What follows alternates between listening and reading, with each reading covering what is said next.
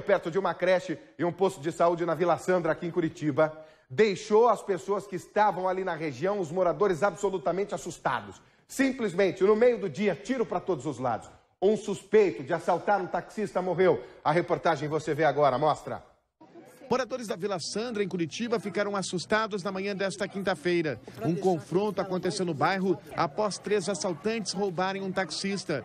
Na fuga, uma viatura encontrou os criminosos e aconteceu uma troca de tiros. Testemunhas afirmaram que vários tiros foram disparados na tentativa de prender os acusados. Esse horário eu fui pegar minha filha na escola e quando eu vi o bandido correndo, a polícia atrás, entraram para dentro do mato ali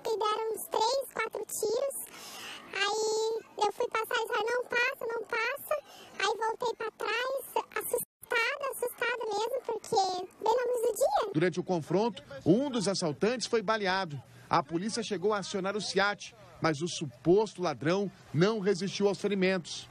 A Polícia Militar realizou buscas na região do confronto, mas os outros dois comparsas não foram encontrados. O inquérito policial militar também foi instaurado e agora vai apurar as causas do confronto e se houve excesso da Polícia Militar.